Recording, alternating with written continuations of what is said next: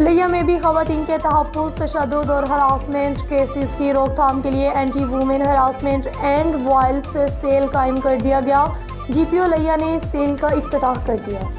D P ओ office लिया में खातन के तहफ़ को यकीनी बनाने और हरासगी तशद जैसे वाकत की रोकथाम के लिए anti women harassment and violence cell कायम कर दिया गया। डी पी ओ लिया सैयद अली रजा ने सेल का अफ्ताह किया। इस मौका पर D P O Syed Ali Raza का कहना था कि anti women harassment and violence cell में तरबियत याफ्ता अमला तैनात किया गया, जो कॉल पर फौरी रिस्पॉन्स करेगा और खातन के साथ होने वाले तशद पर वाक़ात की रोकथाम में अपना भरपूर किरदार अदा करेगा। खातन का कहना है कि ये ज़िले पुलिस का खातन के लिए एक मुस्बत कदम है जिससे खातन अपने आप को महफूज तस्वर करेंगी पंजाब पुलिस की तरफ़ ऐसी पब्लिक मुकाम दफातर और दीगर जगहों आरोप खातन के तहफ़ और हरासमेंट तशद के वाकत की रोकथाम के लिए सेफ्टी वीमेन एप भी मुतारफ करवा दी गई जिससे खातन एक लीग आरोप पुलिस ऐसी मदद हासिल कर सकती हैं